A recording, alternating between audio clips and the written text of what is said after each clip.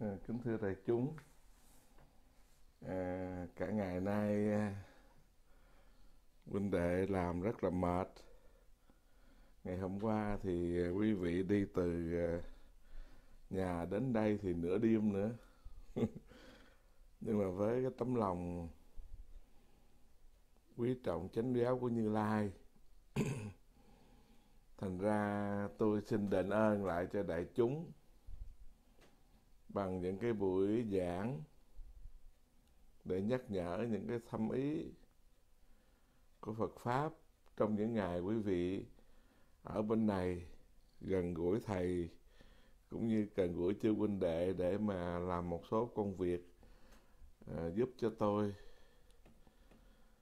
Thì tôi không biết lấy cái đề tài gì tôi nói cho nên mấy buổi quý vị ở đây thì tôi xin chọn một cái tác phẩm gọi là phát bồ đề tâm văn của tổ sư thật hiền. Để mà tôi chia sẻ với đại chúng. Để hồi trước giờ quý vị nghe pháp nhiều nhưng mà nhiều khi quý vị quên một điều rằng là phát bồ đề tâm văn là phát cái phát cái tâm như thế nào? Cái chữ bồ đề có nghĩa là cái tánh giác. Phát bồ đề tâm là phát cái, là phát lên cái tánh giác của mình. Mà văn đây là cái cái cái văn hay nói khác hơn là cái một vị tổ viết viết cái văn phát bồ đề tâm, đó là cái tấm lòng. Vì đạo tha thiết, kêu gọi tăng ni tín đồ cũng như phật tử, hiểu như thế nào gọi là phát cái tâm bồ đề. Hồi đó giờ các phật tử đi chùa, các vị cũng nghe nó phát tâm bồ đề. Nhưng mà phát cái tâm bồ đề là tâm như thế nào? Mới gọi là phát tâm bồ đề thì à, có thể ba buổi tối tôi giảng không có hết nhưng mà tôi hy vọng rằng à, với trình độ các vị đã nghe pháp nhiều năm rồi thì tôi xin lướt qua. Chứ không có phải là à, thắt chặt từng chữ như các cái bộ kinh khác. Thì trước hết thì à, tôi xin nói sơ lược về cái tác giả của cái cái cái tác phẩm phát bồ đề tâm văn đó là tổ sư thật hiền ngài có còn hiệu là cái hiệu của ngài là tĩnh an. Mà cũng còn có một cái hiệu nữa là tư tề. Ngài sinh vào cái ngay trúng với ngài phật đản năm thứ 24 của vua Khang Hy. Có nghĩa là vua Khang Hy làm vua được 24 năm. À, làm vua mấy chục năm đó nhưng mà có nghĩa là làm vua từ khi lên ngôi cho tới cái năm thứ 24 của vua Khang Hy. Như vậy thì à, tổ sư Thật Hiền sanh ngay cái ngày Phật đản thì mình ở đây cũng gần ngày Phật đản cũng là trùng một cái duyên. À, vua Khang Hy thì các huynh đệ biết là đời nhà Thanh. Và vị tổ sư này thật ra có 49 tuổi thôi. Thọ có 49 tuổi mà là một vị tổ sư xuất chúng. Thì có nhiều vị nói là cái băng bát bồ đề tâm này của tổ thật hiền là của tông tịnh độ không phải?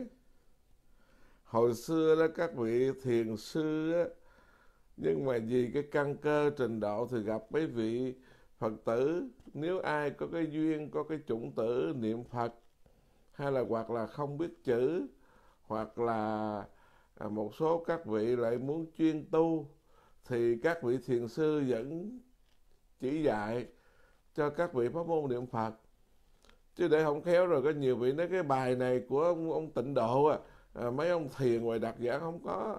Sợ dĩ sau này mình chia ra thiền tịnh là do tự mình à, đặt ra rồi mình trói lấy mình thôi. Chứ hồi xưa tất cả các vị tu hành từ bên thiền mà nhảy qua khai sáng cũng như là hướng dẫn cho người ta tu tịnh. Để biết để nói luôn có điều là thiền tịnh nó, nó đâu có hai bởi vì ví dụ như bây giờ các vị như giờ đại chúng ngồi trước mặt tôi các vị còn có thể tu thiền được. Nhưng mà nếu như các vị mà ba bốn chục năm nữa biểu các vị ngồi thiền sao ngồi?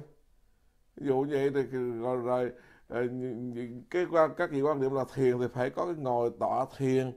Chứ còn nếu như học đạo kỹ thì biết rằng mọi cái đi đứng nằm ngồi đều thiền. Nhưng mà cái đó là mình nói là nói trên cái lý thôi nhưng mà ít nhất cái hình thức á, thì ai có quan niệm là tu thiền là phải có những giây phút ngồi tĩnh tọa. Thì tới như các vị già đi nếu như tôi còn sống các vị còn sống ba chục năm sau đi các vị gặp tôi thì sao? Tôi cũng nói là thôi quý vị niệm phật đi thấy không? Lúc đó già lụng cũng hết đó là thôi niệm phật trên an thay gì biết đâu lúc đó già các vị gặp tôi các vị run run run run cứ nói hoài cái chuyện quá khứ tôi nói thôi niệm phật đi cho nó khỏe có những người già các gì thấy không? Già là cứ gặp, nói hết chuyện này tới chuyện kia, nó quá khứ thầy nói ô thôi đi, bà niệm phật đi cho tịnh tâm bà ơi. Thấy không? Thì biết đâu, tới chúng ta cũng vậy thôi à. Mình cũng chưa hẳn hẳn là tránh khỏi. Tại vì bao nhiêu ký ức cuộc đời nó, bao nhiêu tháng năm nó đã dồn quá nhiều rồi. Rồi tôi trở lại cái vấn đề, thành ra thôi thì nói như vậy, không có nói thiền tịnh hết trơn á. Mà một kia tổ sư như vậy tổ sư này đó sinh năm 1868 mà mất 1734 thọ có 49 năm thôi. Mà vị tổ sư sẵn đây là tôi nói luôn á có những có những vị thiền sư á, lỗi lạc mà chưa đầy 30 tuổi. Cái ngày xưa người ta tu hành người ta có cái chủng tử người ta có cái phước báo người ta có trí tuệ đâu đâu đâu nói tuổi tác đâu có gì thấy không? Ngày nay nhiều khi á, mình quan niệm với ông hòa thượng á thì phải là ông coi như là cao hơn, ông thượng tọa là phải ông đó là tu lâu hơn, là coi như là rường cọp hơn. Thì cái này không phải sai, nhưng mà nó cũng chưa hẳn là đúng. Nhiều khi cái đời hòa thượng nhưng mà có, ông mới tu có đời này sao? Còn có nhiều ông ông chú tiểu vậy đó, nhưng mà ông tu nhiều đời nhiều kiếp rồi, thì thấy không? Cho nên có những cái trên cuộc đời này á, thí dụ như tôi nhớ thầy tôi hồi đó nói hoài à nó có một vị hòa thượng trụ trì mà lỗi lạc đó nha. Mà nó là tụng kinh kim cang để cầu chư thiên xuống để mà cho cho mưa hòa gió thuận gì đó. Mà tụng kinh hoài vậy mà chư thiên không không động tới chư thiên. Bữa đó hòa thượng ông bận đi đâu đó cái thấy ông tiểu ở nhà, tại vì hàng ngày nó thấy thầy mình tới giờ đó lên tụng kinh. Cái ông tiểu ông sợ nếu bữa, ngày nào cũng thầy mình giờ đó lên tụng kinh, bữa nay thầy mình không có nhà, sợ không tụng kinh rồi không có tiếng chuông, tiếng mỏ thì ông hòa thượng ông đọc tới đó, ông để cái dấu cái chỗ trà đó tiểu lật ra ông đọc cái vậy đó. Và chư thiên xuống rằng rằng. Đó chư thiên xuống rằng rằng, cái hỏi lại thì nó tại sao mà một ông hòa thượng mà tụng cầu hoài mà chư thiên không xuống mà ông tiểu mới đọc. Về vậy chư thiên xuống thì có một vị thánh tăng á, một vị la hớn mới nói rằng, dầu là đời nay, ngài làm hòa thượng ngài tu hành giới đức nó trong sạch đó nhưng mà cái phước báo mà cái phước vô lậu đó, nó chưa bằng ông tiểu kia. Ông kia là tiểu chứ không nhiều đời hòa thượng nhiều đời tu hành trước ngài nữa.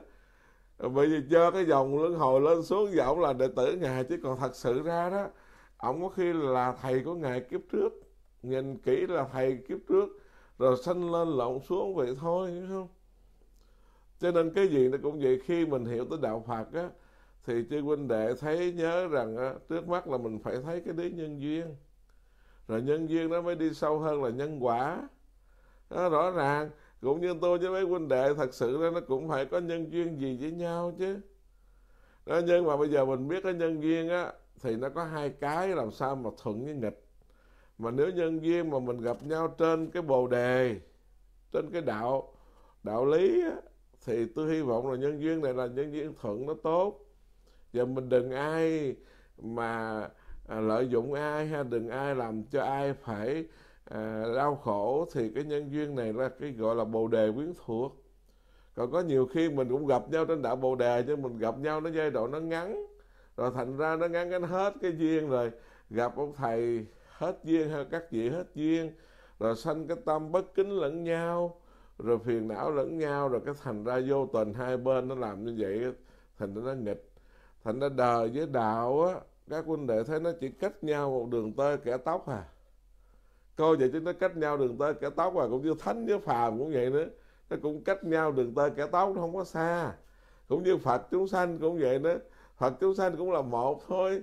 Nhưng mà hãy mê là chúng sanh là giác là phật vậy à đó, mình hiểu những cái đó để rồi mình mới thấy là khi nào cái tâm mình tỉnh thức thì đó là tâm phật khi nào tâm mình mê, tham đắm trong tiền, tài, danh, vọng trong đầy dẫy những sự ham hố, thì lúc đó mình là chúng sinh. Cho nên trở lại cái vấn đề á, vậy thì nếu như cái nhìn của chúng ta mà nhìn bằng cặp mắt thịt này đó, gọi là nhục nhãn này đó, thì chúng ta không thấy được cái người nào bao nhiêu đời bao nhiêu kiếp hết trơn á. Phải không? Có nhiều khi cái vị đó đời nay tu lơ tơ mơ là tu nó bậy nó bạ không mà chúng nó nghe rằng rần nó đem tiền nó dân nạp nó đem của nó dân nạp. Thì biết đâu là ông này không có tu nhiều kiếp trước. Rồi thành ra nó còn dư báo lại cho nên kiếp này á cái phước báo đó ông hưởng. Thờ thật cũng vậy có những vị a la hớn rồi đó mà không có ai cúng dường hết á. Thì vậy không lẽ các vị đó tu dở hay sao? Đó thành quả rồi đó thành a la hớn rồi đó.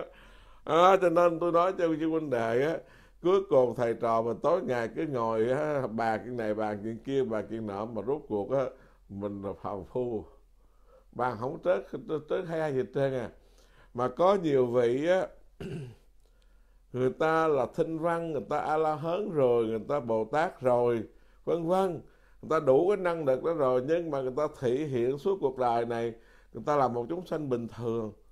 Cũng có nhiều khi có những chúng sanh tệ lậu hơn chúng sanh bình thường nữa nghe chứ không phải mà thí dụ như đó, đưa cái trong truyện với ông tế điên hòa thượng đó, ai đợi hòa thượng cầm bình rượu hát nghiêu ngao, cầm thịt gà, thịt vịt ăn vậy? Nhưng mà đó là ông la hớn tái thế. Tuy mình nói đi nói lại, chứ đó ông la hớn làm vậy được à? Mình không có la hớn mình làm vậy là mình đỏ à nha. Nói đi thì nói lại, đừng có thí dụ như, tuy rằng tôi nói nói cho tôi không dám nói, tôi ngã mạng à không dám nói bố tôi làm vậy, a la hớn không có người ta la hớn, người ta làm mà tâm, ta không có động, ta không biết ta la hớn giống như ta không có nghĩ là ta là a la hớn người ta sống một cuộc sống rất bình thường. Còn mình làm vậy cái bắt trước đấy, ông hòa thượng cái làm vậy tôi, làm vậy tôi tái thế là cái đó là tội cống cao ngã mạng là chết đó đó, cho nên có những cái á, tôi nhớ hồi đó có một vị sẵn đây nói câu chuyện luôn, rồi bây giờ đi vô đề nó dài. Có hai hai anh bạn à, học rất là giỏi thi ra làm quan. Một anh chàng nước sở còn một anh chàng thì nước hiện tại nước gì để tôi quên rồi. Thì hai anh bạn này mới phò tá nhà vua cho tới một thời gian là đất nước thanh bình thịnh trị. Hai anh à, thấy cuộc sống nó vô thường rồi càng lúc con người nó càng già cho nên hai anh mới phát nguyện đi tu. Đi tu nhưng mà hai anh đi tu thì á anh Mộc anh á, thì sở dĩ chín mùi cái duyên lành rồi. Cho nên anh ta không có bị động. Còn Mộc anh á, thì anh nói rằng là, con tu tu tu tu, chứ mà tôi thấy gái tôi vẫn thích. Tôi thấy ăn ngon tôi vẫn thích mặt đẹp tôi vẫn thích.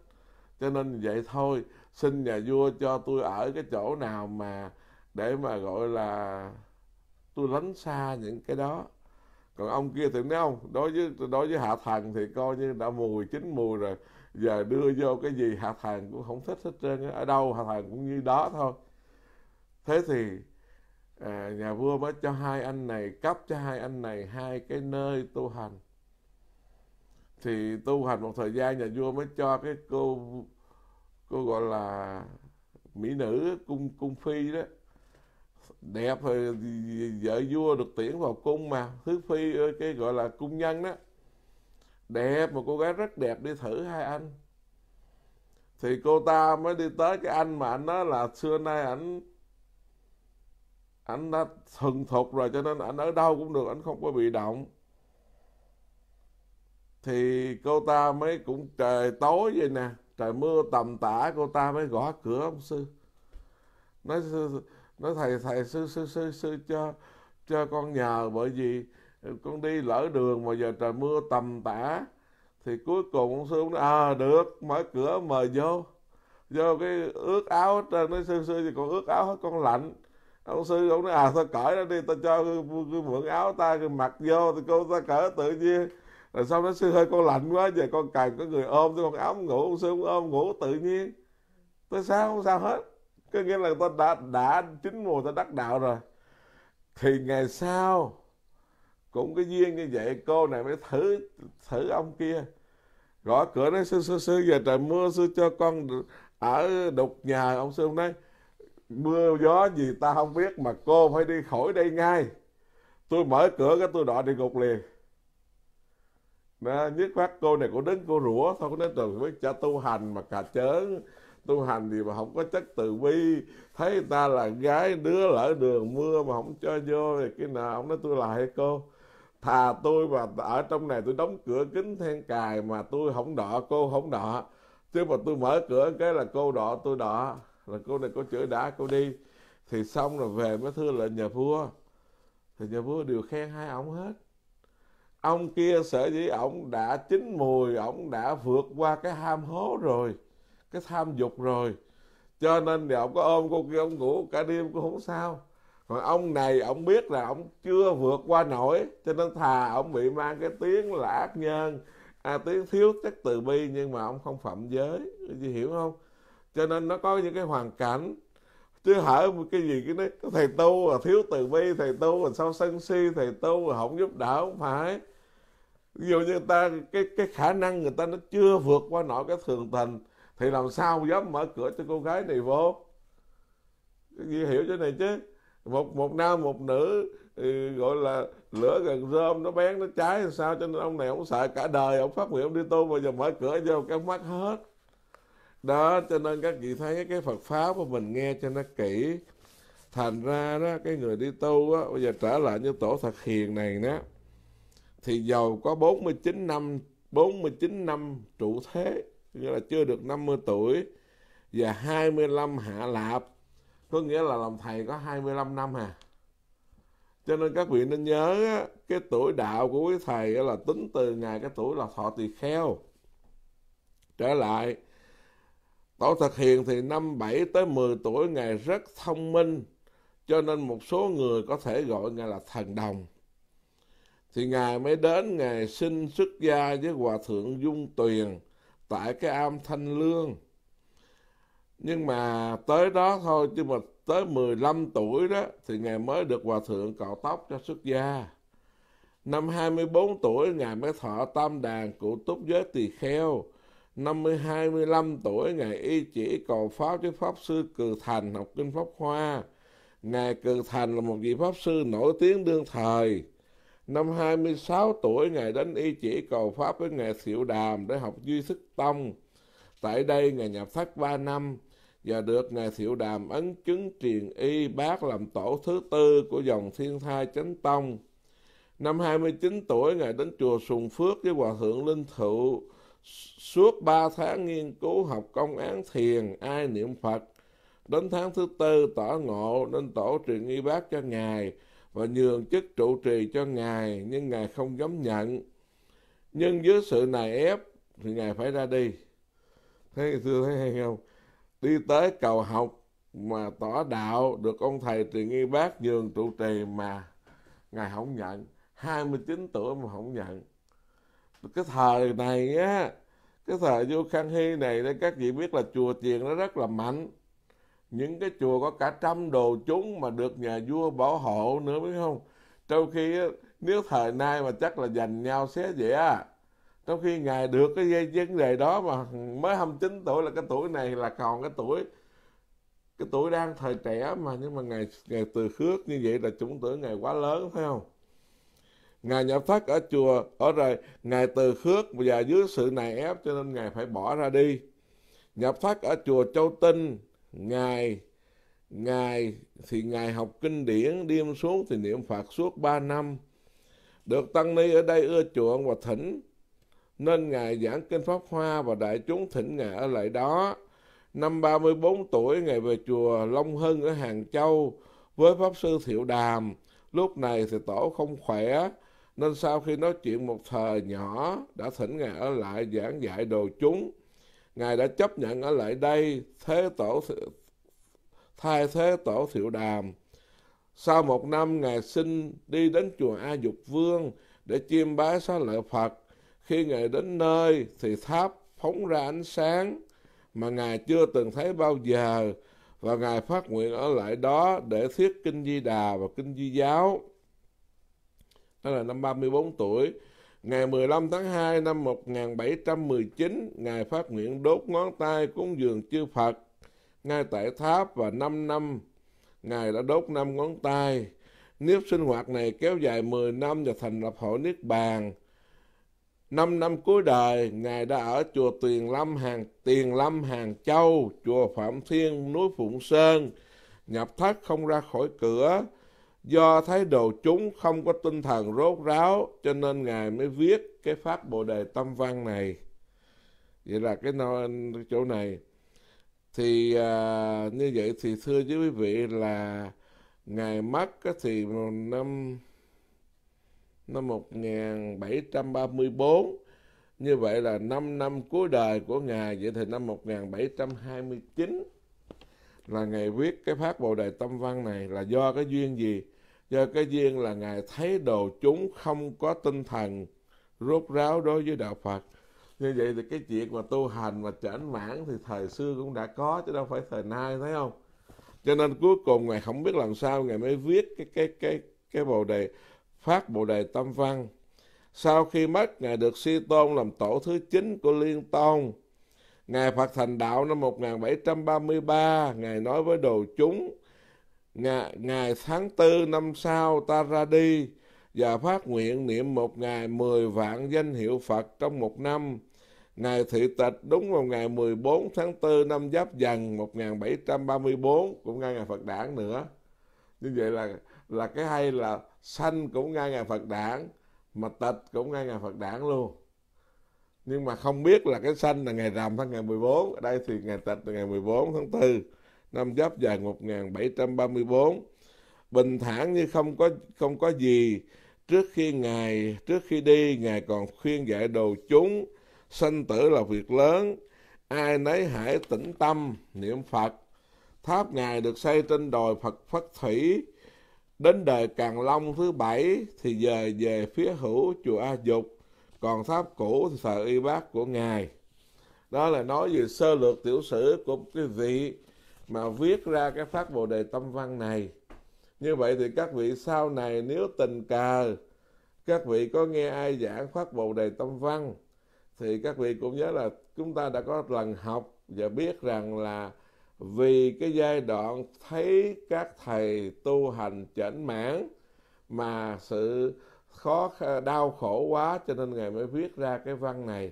Đau khổ là ngài tự ngài thấy thấy tiếc nuối bởi vì khi các vị vào học đó, thì các vị mới biết là là cái văn của ngài viết nó rất là thấm thía. Thì tôi nói đơn giản thì các vị nhớ rõ không? Như vậy là một vị tổ mà sống có 49 năm hà mà vị tổ sư mà viết cái pháp Bồ Đề Tâm Văn này là 5 năm cuối đời. Như vậy là ngày mất ngày 14 tháng 4 năm 1734 như vậy là ngày viết vào ngày năm 1729 bắt đầu vào cái chánh văn. Bất tiếu. Ngô hạ phàm phu tăng thật hiền. Khắp quyết khể tản ai cáo hiện tiền đại chúng. Cặp đương thể tịnh tính nam nữ đẳng. Duy nguyện từ bi thiểu gia thính sát. Thường văn nhập đạo yếu môn. Phát tâm vi thủ, tu hành cấp vụ.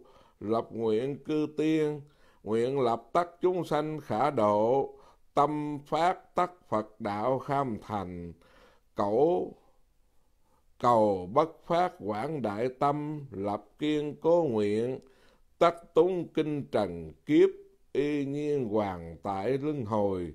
Ti hữu tu hành, tổng thị đồ lao tân khổ, cố hoa nghiêm kinh văn, vong thất bồ đề tâm, tu chư thiện pháp, thị danh ma nghiệp vong thất thượng nhĩ, huống vị phát hồ, cố tri dục học như lai thừa, tất tiên cụ phát bồ tát nguyện, bất khả hoàng giả quý vị cảm thông cho tôi đọc một cái phần kháng văn như vậy, bởi vì ờ, đa phần kinh tạng nó nằm trong hán tạng. Sở dĩ tôi muốn trùng tuyên lại cái phần hán văn này để đền ơn cái người xưa. Chứ không phải các vị đừng nói ông thầy, ông biết một vài chữ hán rồi ông sổ ra. Bây giờ tôi dịch chữ việt nha.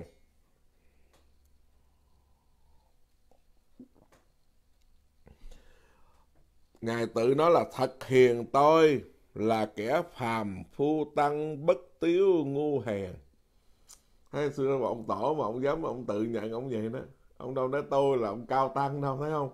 Thật hiền tôi bất tiếu ngu hạ phàm phu tăng đó thật hiền tôi là kẻ phàm phu tăng bất tiếu ngu hèn. Khắp quyết thể tản khắp quyết thể tản khể tản là ngày khóc mà máu nó nó ra tới mi. Ngày thương Phật pháp mà gọi là là khóc mà ra máu lệ đó. Khóc à, cho nên nên hồi đó bây giờ nói tới đây tôi mới nói thực ra đại chúng á, tôi học cái văn này á ngày xưa tôi học vào năm 94 à 94 thì phải. 94 hay 95 hình như hai năm đó thôi tôi nhớ tôi không nhớ rõ. Năm học cái này là do hòa thượng nguyên thiện dạy. Nhưng vì hòa thượng đó bây giờ mất rồi. Hòa thượng nó tướng rất đẹp tướng sang trọng lắm mà không ngờ mất sớm. Mới lên hòa thượng là mất, có nghĩa là mất mới 60 61 gì thôi. Mất nay 4 năm năm nay rồi. Tôi nhớ hòa thượng là cái tướng hồi đó phương phi đẹp lắm, mà người thì người miền ngoài. Mà tướng cao lớn mà hòa thượng mặc cái áo nâu mà bạc bạc, mặc cái quần thì hòa thượng hay mặc cái quần trắng, áo vàng. Nhớ là tôi nhớ rất rõ là ngài lúc nào cũng mặc quần trắng, áo vàng, mà ngài thì lại là có cái bằng đại học, cho nên ngài đi dạy không à. Cho nên ngài tướng rất sang trọng. Tôi nghĩ cái tướng vị này thì tôi nói chắc hòa thượng, lúc đó còn là là là là thượng tọa thôi. Tôi nói chắc thượng tọa này cũng sống chắc cả trăm tuổi nghe. Nhưng mà ông ngờ mới lên hòa thượng. Tôi không biết là ngài lên hòa thượng lúc nào mà khi mất thì mới thấy thể chữ hòa thượng. Tôi mới giật mình. Một người tướng rất đẹp, rất sang và không có bệnh tật mà lại mất sớm. Ấy nói gì, cái gì? Cho nên nhìn nhìn cái vô thường thành ra tôi cũng nói một chút về để tri ân ngài là hồi đó đó. Cái năm tôi học cái này thì là dường như năm đó tôi chưa đầy tuổi 20 mà hồi đó thì các huynh đệ biết mới vào trường Phật học ở nhà quê lên á, đâu có nghĩ rằng mình có duyên ngày hôm nay cầm cái văn bản này mà giảng đâu. Thành ra học cho nó có thôi, mà ngài thì miền ngoài, còn tôi thì miền tây rặt nó cho nên cái giọng nói ngài rất là khó nghe nhưng mà nhờ ngài sống ở sài gòn lâu năm, cho nên ngài nói cũng cũng lớn tiếng, nó cũng đỡ. Nhưng mà tôi nhớ rất rõ là ngài ngài dạy cái chỗ đoạn này là mà mà ngài khóc á. Là là tổ thật hiền á, tổ tổ thấy Phật pháp như vậy, thấy tăng chúng như vậy á, tổ khóc mà chảy máu ra nước mắt. Đó. dập đầu khẩn thiết mà mà gọi là ai cáo hiện tiền đại chúng đó nghĩa là dập đầu mà ra nước ra máu nước mắt để mà kính lại kính lại đau buồn khẩn thiết mà thưa với đại chúng ừ. duy nguyện à, đại chúng rồi đương thể tịnh tính nam nữ đẳng cùng với cả thể thiện nam tính nữ nó chứ không phải đại chúng là người tu không nha xuất gia không cùng với cả thể nam nữ duy nguyện từ bi thiểu gia thính sát là cuối mong quý vị mà mà nhỏ một chút lòng thương xót, lưu ý một chút mà nghe cho kỹ cái lời tôi khẩn thiết đây. Đó là lời của tổ nói đó. Mà xét cho cái lời nói của tôi, gọi là thiểu gia thính sát, thường văn nhập đạo yếu môn phát tâm vi thủ tu hành cấp vụ lập nguyện cư tiên. Cái này nghe nó, nó các vị nhớ nè. Thường văn là là thường văn là gì? Thường nghe đó chữ văn là nghe đó. Thường nghe đó. Thường văn nhập đạo yếu môn phát tâm vi thủ là ta thường nghe cái người nhập đạo là cái gì? À, là phát phát tâm là là trước tiên phải không? Đó người nghe nghe người nhập đạo đó thì phát tâm vi thủ chữ thủ là cái đầu. Vi thủ là làm đầu chữ vi là làm. Phát tâm vi thủ có nghĩa là phát cái tâm làm làm đầu tiên. Hãy không thường thường các vị thấy ai đến đạo thì cũng phát tâm mới đến đạo chứ chứ ít ai mà tự nhiên à, đến đạo một cách à, cho nên phát tâm vi thủ tu hành cấp vụ à, cái việc mà khẩn thiết tu hành á, cấp á, là khẩn cấp á. Tu hành cấp vụ là cái việc khẩn thiết tu hành á. Lập nguyện cư tiên là cái việc mà khẩn khẩn cấp tu hành là do lập nguyện đứng trước. Như vậy tu á tu hành là do lập cái nguyện. Bây giờ hỏi là đại chúng nè, lời người xưa dạy rất rõ, bây giờ các chị ngày nay tu hành có lập nguyện không? Hay là tu hành tới lập chuyện có nghĩa là cái mục đích của người xưa dạy rất rõ, cái người tu hành là do lập nguyện. Mà cái nguyện đây nó không phải là cầu nguyện nha. Mà cái nguyện này là nó không phải cầu bên ngoài, mà nó xuất phát từ cái nội tâm để muốn đánh động cái nội tâm bên trong á cho nên hứa phát nguyện rằng là cái mục đích chính của con tu hành là đầu tiên là là con phải phải quyết chí.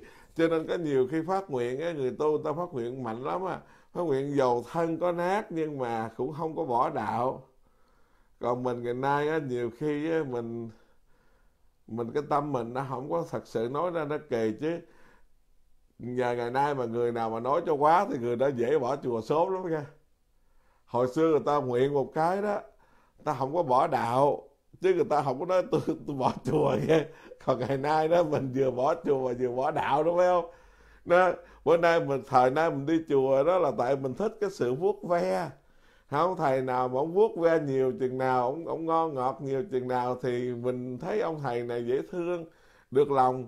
Thì mình dân cúng dân cúng thời gian mình muốn làm chị ông thầy làm má ông thầy làm bà nội ông thầy hay làm quyền ông thầy mà tới chừng ông không nghe nữa làm sao? Thì bắt đầu là bao nhiêu cái thần tượng nó sụp đổ nó đổ vỡ. Hoặc là ở trong chùa có người nào đó hơn mình một cái là bắt đầu đủ thứ chuyện. Vì vậy mà ngày nay mình tu hành không có lập nguyện mà mình tới chùa để mình kiếm chuyện là nhiều. Cho nên vì vậy mà nó dễ sanh phiền não. Còn ngày xưa đó người ta tu hành vì lập nguyện. Tôi nhắc để đây là hơi hơi nặng nề một chút mà để nhớ. Lập nguyện đứng trước. À, lập nguyện cư tiên là lập nguyện đứng trước. Nguyện lập tắc chúng sanh khả độ tâm phát tắc phật đạo kham tâm phát tắc phật đạo kham thành. Nguyện lập á, thì có thể độ chúng sanh mà tâm phát á, thì phật đạo có thể thành. Hai cái câu này quý huynh đệ nhớ nè nhớ cho kỹ nè. À, bây giờ lập nguyện và tâm phát cũng hai chữ này ha đây nè hả lập nguyện á, thì có thể gì? Có thể độ chúng sanh.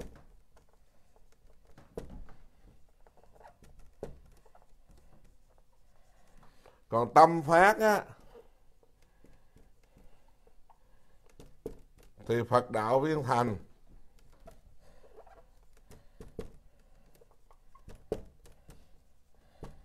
Hai cái câu này vậy chứ nó nó thấm dữ lắm á nghe cái huynh đệ nha.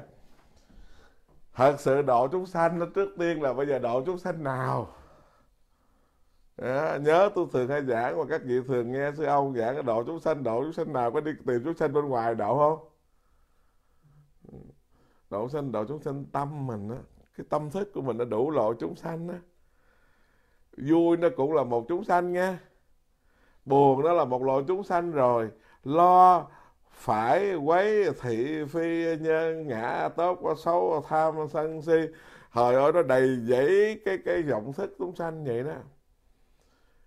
Cái vui cái lạc thú vậy mà nó cũng là một loại chúng sanh. Bởi vì nó là cái nó là thuộc vọng nha cho nên á, như vậy bởi cho nên nó trong gọi là thất tình. Nó có cái hỷ nộ ai cụ ái ố dục. Nó có vui trong cái chứ đừng tưởng đâu vui là nó không là chúng sanh cho nên lập nguyện thì có thể độ chúng sanh. Cho nên vì vậy mà mới đưa ra hình hình ảnh của Bồ Tát Địa Tạng đó. Bồ Tát Bồ Tạng lập nguyện là nguyện độ tận chúng sanh đó. Chứ thật sự đâu có ông Địa Tạng nào thiệt vậy đâu. Là đắc tâm của mình đó. Cho nên gì phải lập nguyện, tu hành phải lập nguyện. Nguyện là mình phải phải quá giải chúng sanh.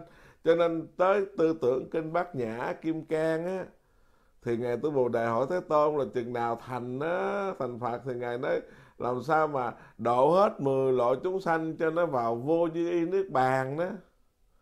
Đó, thì 10 loại chúng sanh rồi có nõn sanh nè, thai sanh nè, thấp sanh nè quá sanh là bốn loại này thôi. Chứ tôi chưa nói là hữu tưởng rồi ờ, hữu sắc rồi vô sắc rồi phi hữu sắc, phi vô sắc, vân vân. 10 loại thôi, mình nói bốn loại thôi. Bốn loại trước là nõn, thai, thấp quá nếu mà nghe như là Phật dạy mà hiểu hiểu hiểu một cách mà khờ hợt á đi tìm bốn loại chúng sanh là nõn xanh là gà chim là, rồi xanh bằng trứng đó. Là thai xanh là trâu bò tới con người nè. Thấp xanh là con cá nè. Quá xanh là con lươn con trình con nhộng con ong con bướm độ hết cho tất cả chúng sanh nó thành vô duy biết bàn mình thành phật vậy chừng nào mình thành. Như vậy ý nói những loại chúng sanh đó là chúng sanh trong tâm thức của ta nó ẩn ở trong đó nó, nó ẩn nó, nó, nó ẩn bao nhiêu tháng ngày nó núp ở trong đó nó đầy dẫy đầy dẫy như loại nõn xanh loại thai xanh loại thấp xanh loại hóa xanh loại hữu sắc loại vô sắc loại phi tưởng loại phi phi tưởng. À. đó cho nên nó nhiều thứ nó mười loại chúng sanh như vậy đó. Mà nói rộng ra đó thì nó vô lượng vô biên chúng sanh nhưng mà mấy chúng sanh nhỏ nhỏ mình không cần. Mình nói những loại chúng sanh lớn thôi một cái ý nghĩ mà bất thiện là một loại chúng sanh đó nghe. Cũng may là cái ngăn chặn của cái đạo Phật á, mình á, bảo là nghĩ thiện á, thì coi như chúng sanh nó sắp thành Phật. Mà nghĩ bất thiện là chúng sanh nó đè nặng trong kiếp chúng sanh. Đó cho nên các huynh đệ nhớ học Phật nhớ làm sao đừng có để tiền mất tật mang. Đó cho nên đừng có nghĩ đi độ chúng sanh để tìm thế giới chúng sanh. Bởi cho nên hồi đó có, tôi có mấy người tôi thấy mà tôi nói nó giận tôi, nó chửi tôi quá trời luôn á.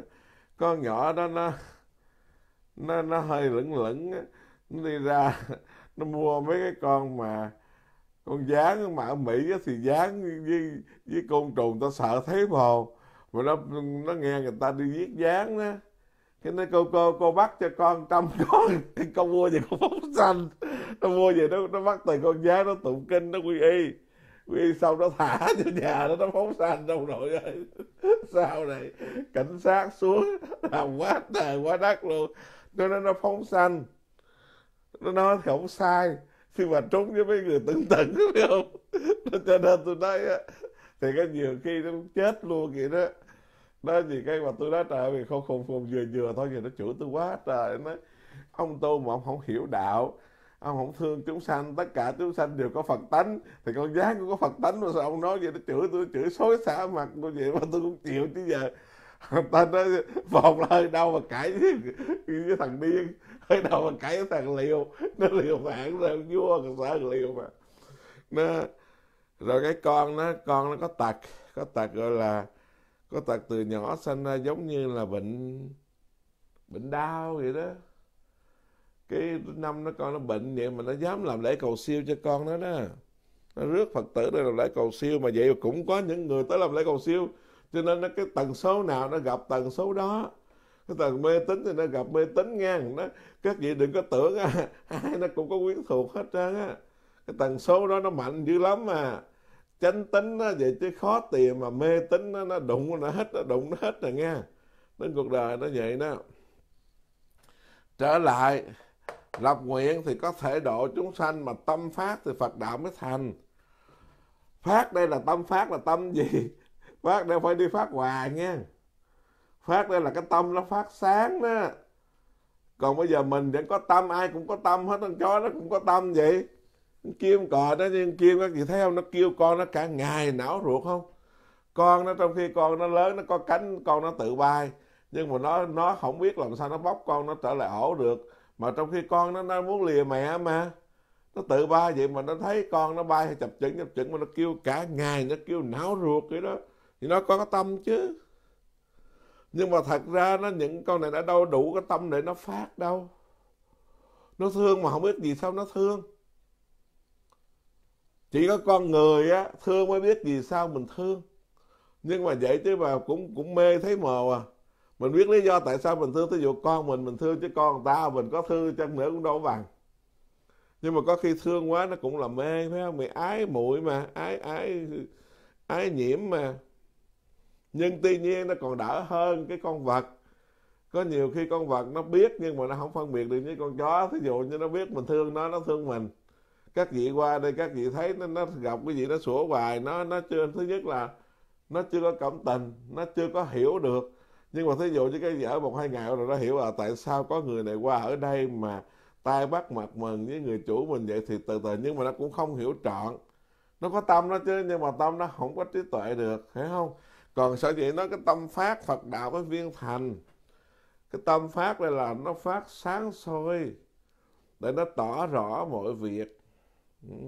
Cái câu này nó nhiều nghĩa lắm mà thôi, tôi chỉ nói lướt qua vậy thôi. Các chị ráng nghiên cứu thêm rất là hay. Tâm phát tắc Phật đạo kham thành. Cầu bất phát quảng đại tâm lập kiên cố nguyện tắc túng kinh trần kiếp y nhiên hoàng tại luân hồi. À, nếu như mà tâm mà không có rộng lớn đó không lập cái nguyện vững bền kiên cố á thì dù có trải qua nhiều kiếp vi trần, cũng vẫn y nhiên trong cái vòng luân hồi à. Dù mà có tu hành á ờ, mệt một ngày, sao giống như tôi nói thêm, dù có tu hành, trong này không có nói nguyên văn như vậy, nhưng mà tôi phân tích thêm á, dù có tu hành mà có lại một ngày năm, ba, sáu thời lại Phật tụng kinh đi nữa đó, mà tâm không phát, nguyện không lập thì sao? Thì cũng chỉ là uổng công vô ích trong này tổ không có nói rõ như tôi nhưng mà tôi phân tích thêm ấy, tổ trong này chỉ nói là dù có tu hành cũng chỉ là uổng công lao nhọc. Ừ. khổ sở một cách vô ích mà thôi. Đó là đó là tổ viết vắn tắt như vậy. Cho nên trong kinh hoa nghiêm nói vong thất bồ đề tâm tu chư thiện pháp thị danh ma nghiệp trong kinh hoa nghiêm nói nếu quên mất cái tâm bồ đề mà tu có pháp lành thì gọi đó là ma nghiệp. Cái câu này mà nó gây cãi dữ lắm đó nha. Cái người mà không học đạo, không có trí tuệ, không có nghiên cứu là học câu này không ra đó.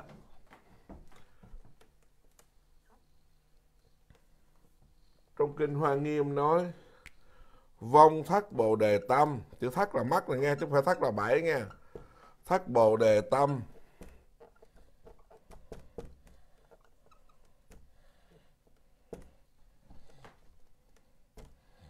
Tu chư thiện nghiệp.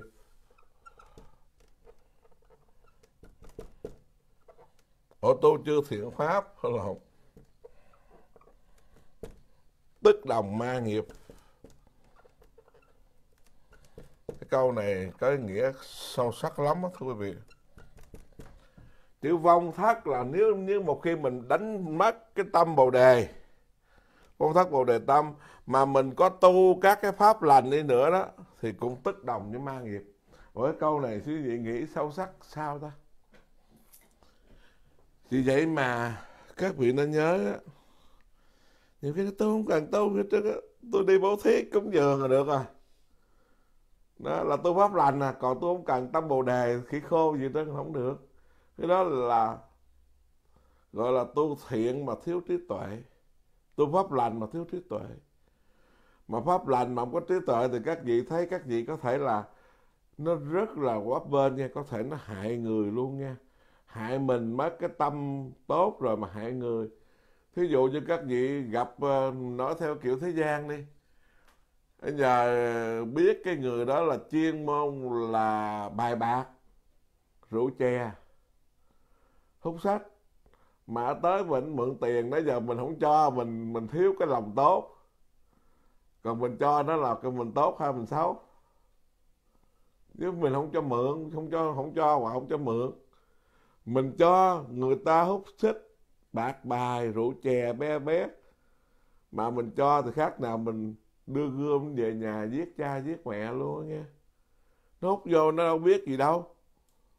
Như vậy đó, có khi mình đóng ác mà trên cái phương diện trí tuệ thì nó lại đưa cái pháp lành có khi mình làm pháp lành mà mình không có nằm trên cái trí tuệ, thì mình giết người một cách gián tiếp, đúng không? Ví dụ như Việt Nam tôi nhớ cái thằng đó nó nó nó xin xin xin xin mẹ nó tiền nó hút, nó chích, mẹ nó không cho. Nó chửi hàng xóm thấy chịu không nổi, cho nó ra nó mua về xong nó hút xong nó xích dao giết mẹ nó nó bà má bà không thương tôi mà phải hàng xóm không? Nó cho tiền tôi hút gì giờ tôi giết bà rồi vậy là cái nào tốt cái nào xấu? Đó cho nên các vị thấy mà điều cái này nói nó còn sâu nó nó còn nói cái cộng nghiệp với nhau này kia nữa. Cho nên nhớ đó, tổ dạy đó dông thất bồ đề tâm tu chư thiện pháp tức đồng mang nghiệp phải thuộc. Câu này cái này là của Phật nha Phật dạy tổ nhắc lại. Kinh hoa nghiêm nói đó dông thác thượng nhĩ huống dị phát hồ, cố tri dục học như lai thừa, tất tiên của phát bồ tát nguyện bất khả hoàng giả. Nếu mà quên mất mà còn như thế là dông thác thượng nhĩ á. Quên mất mà còn như thế, như vậy, thì huống vị phát hồ, huống chi chưa phát? Hiểu cái câu đó không? Quên mất cái tâm bồ đề mà còn như vậy huống chi chưa phát. Nè, huống vị phát hồ. Cố tri dục học như lai thừa tất tiên cụ phát bồ tát nguyện. Cho nên muốn học cái đạo như lai thừa thì trước chữ thừa là là, là cái cổ xe đó chứ không phải là chữ thừa là gì đâu. Thừa không phải là dư thừa mà chữ thừa là chuyên chở là cổ xe muốn học cái đạo như lai thì trước phải phát cái bồ tát nguyện, không thể chậm trễ vậy. Như vậy muốn thành phật thì phải đi thực hành cái đạo bồ tát nha. Các vị nhớ, cho nên bên nam truyền thì họ quan niệm là thành tựu đại a la hớn là thành tựu quả vị phật. Họ không có đi ngang cái bồ tát. Nhưng mà ngược lại, tinh thần Phật giáo phát triển phân biệt rất rõ ràng. Nếu anh muốn thành Phật anh anh thành quả vị Phật mà anh không làm cái đạo Bồ Tát thì không đủ cái phước đức trí tuệ và thành Phật mà sao có gì hiểu không? Tại Bồ Tát là cái tâm phải rộng lớn, tâm phải chứa khắp, trùm khắp, phải có tình từ bi hỷ xã thì cái ngưỡng cửa từ bi hỷ xã đầy đủ trọn vẹn như thế này nè. Chấp nhận mọi những chịu, mọi hy sinh, mọi gian khổ thử thách thì mới thành Phật đó là tinh thần đại thừa. Còn tinh thần nam truyền á, chứ thôi nói tiểu thừa họ buồn. Thì nhiều khi á, quan niệm thấy thế giới chúng sanh họ sợ quá. Cho nên thôi vào hang, vào động để tu giải thoát mình mình à. Họ quan niệm, giống như như nói là mấy ông thầy cho tụi tôi là tào lao nè. Tu giải thoát chưa mà ngồi nói đạo hoài, tào lao nhưng mà ngược lại tinh thần đại thừa thì giàu tôi có giải thoát hay chưa giải thoát, nhưng mà nếu tôi có học đạo thì phải cố gắng nói lại đó là đền ơn đáp nghĩa tam bảo đền ơn đáp nghĩa tứ trọng ân đền ơn đáp nghĩa như lai. Chứ đâu có chờ mà mình biết lậu rồi mình mới nhảy xuống mình cứu cái cái người chết đuối. Bây giờ đại thừa là phương tiện thì sao? Thấy cái người chết đuối mình giàu mình chưa biết lỗi nhưng mà nếu như mình có phương tiện có có ghe có cái à, bục bục dừa hay là có cái bồn mình cũng luyện xuống, mình ôm xuống, mình nhảy, mình vớt người ta lên. Đó là phương tiện, mở phương tiện chuyên môn để mà thực hành cái lục độ vận hạnh. Cái gì không? Còn bên tinh thần của nam triều thì không. Chừng nào tôi biết lậu, tôi mới cứu. Còn ai chết mặc ai, bởi vì tôi không khả năng, tôi không có thể làm điều đó được. Cái gì hiểu chỗ đó không? Cho nên á, nó hai cái tư tưởng gì thôi, nhưng mà tư tưởng nào cũng tốt. Bởi vì tư tưởng nam triều thì thôi thà để thành đi giải thoát đi. Còn không giải thoát mà cứ ở lại quãng cuộc đời này sợ nó dính trở lại hiểu không? Còn ngược lại tinh thần đại thừa đó chấp nhận ở cuộc, cuộc trần lao sanh tử này. Để mà lôi chúng sanh ra mình ra chúng sanh cùng ra thì hành bồ tát. Hành tác đạo. Cái gì đó không? Nó hai cái cái cái việc tư tưởng nó như vậy. Thôi chắc học đoạn cái thôi. Mai học tiếp hả?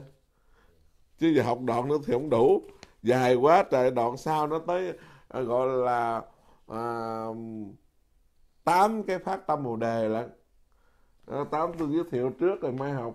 Đó là phát tâm bồ đề gồm có tám tám thứ. Cái này là tôi nhớ rất rõ còn văn thì nó dài dòng. Phát tâm bồ đề thì gồm có tám thứ là là tà chánh đại tiểu trần nguyễn thiên. Viên. Phát tâm bồ đề nó có tám thứ gì nè? Nhưng mà bốn thứ lấy, bốn thứ bỏ. Cái này là sao? Bỏ. Cái này bỏ. Cái này bỏ. Cái này bỏ. Chỉ có lấy là chánh, lấy đại, lấy chân và lấy viên đó, là tám thứ phát tâm. Tám thứ nè.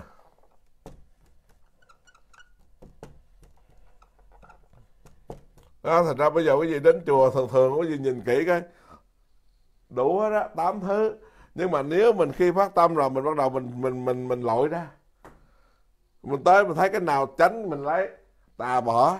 Cái nào đại là lớn, mình lấy tiểu bỏ. Tiểu đại đây không phải là phân biệt, mà ý nó là nó cần để gọi chữ ma ha đó. Chữ ma ha mới dịch là đại đó.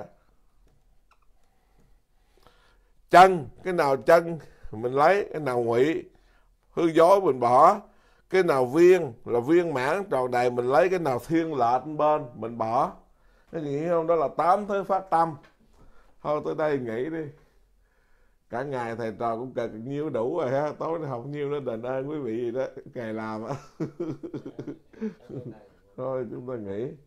Ờ, tắt máy giùm đi chúc ngủ ngon.